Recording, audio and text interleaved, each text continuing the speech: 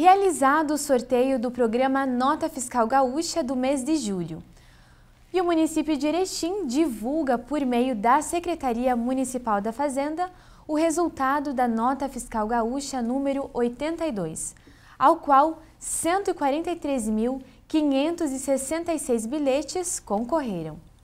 Os ganhadores dos prêmios de 350 reais foram os seguintes participantes. Daniele da Silva dos Santos, de São Valentim, com o bilhete número 109.202. Marcelo Nunes Lopes, de Erechim, com o bilhete número 28.215. E Liva Faz Salve de Erechim, com o bilhete número 119.452. O prêmio deve ser retirado pelos sorteados na Secretaria Municipal da Fazenda de Erechim.